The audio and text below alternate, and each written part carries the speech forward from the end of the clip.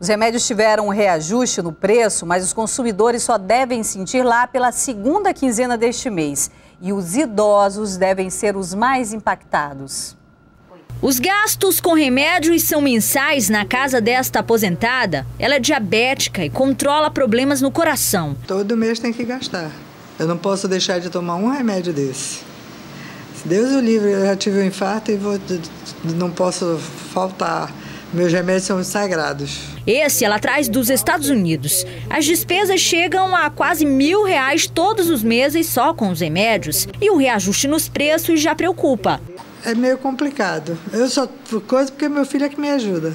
Uma pesquisa da Fundação Getúlio Vargas apontou que os idosos são os que mais devem sentir um impacto do reajuste no preço dos remédios. Os aumentos variam de 1,36% a 4,76%. Mais de 19 mil medicamentos vão ficar mais caros. O Ministério da Saúde considerou o reajuste um dos menores dos últimos 10 anos. Mesmo assim, pacientes com doenças crônicas que precisam usar remédios continuamente vão sentir o aumento no bolso. Por isso, é importante a pesquisa. É que nem todas as farmácias vão reajustar. Algumas se julgam independentes e controlam os preços. Pesquisar em vários estabelecimentos e, se for o caso, pechinchar. Não tem outra alternativa. O reajuste começou a valer dia 31 de março, mas só deve ser sentido mesmo na segunda quinzena de abril.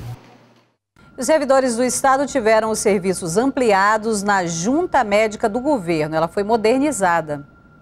A nova estrutura da junta médica é moderna, tem seis consultórios, auditório e sala de reuniões. Aqui vão ser atendidas em média 2 mil servidores públicos por mês. Nossos mais de 100 mil servidores, quando necessitam de uma licença, é, quando precisam de, se preparar para a aposentadoria, eles procuram então a junta médica e aqui eles são atendidos. O governador José Melo esteve na entrega do novo espaço e disse que os investimentos eram necessários utilizando as modernas tecnologias existentes no mundo para permitir que o serviço público aconteça de forma rápida, mais célere e mais eficiente. Entre os serviços oferecidos estão licenças médicas e aposentadorias. A junta hoje atende em média 110 pessoas por dia, né, que ultrapassa 2 mil pessoas por mês. Né, e a nossa nosso objetivo é que, com as melhorias das condições, a gente até aumente esse número. Os agendamentos devem ser feitos pela internet,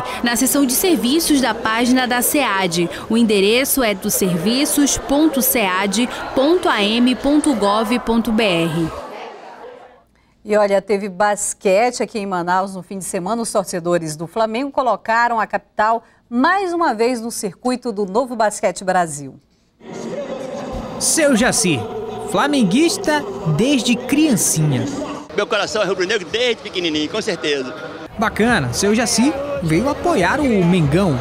Flamengo e Brasília fizeram um primeiro quarto acirrado. Um ponto para lá, outro para cá. Na arquibancada, o seu Jaci vibrava. Seu Jaci viu um bom jogo aqui na Arena Amadeu Teixeira, como já era de esperar. Afinal, em quadra, estavam duas das melhores equipes do campeonato. Inclusive, os times já garantiram vaga nos playoffs do NBB. Mas o Flamengo era o líder. Todos queriam mais uma vitória.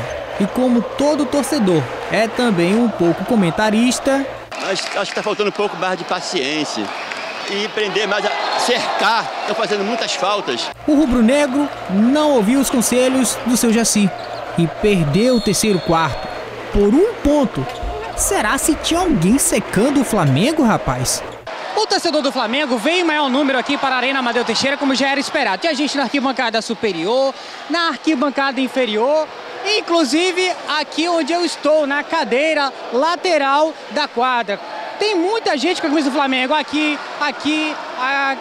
rapaz, um torcedor do tricolor carioca, do Fluminense. O que, é que o torcedor do Fluminense faz assistindo o jogo do Flamengo? É porque o Fluminense é um grande time e ele tenta unir as torcidas, exatamente, porque o esporte ele foi feito para unir pessoas.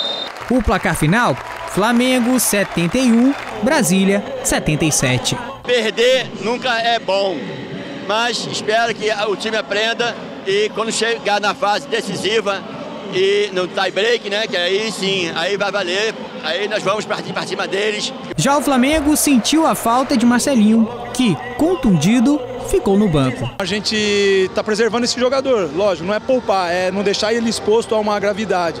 Nós temos condição de jogar de igual para igual com qualquer equipe do NBB, em qualquer lugar que seja, e temos condição de ganhar.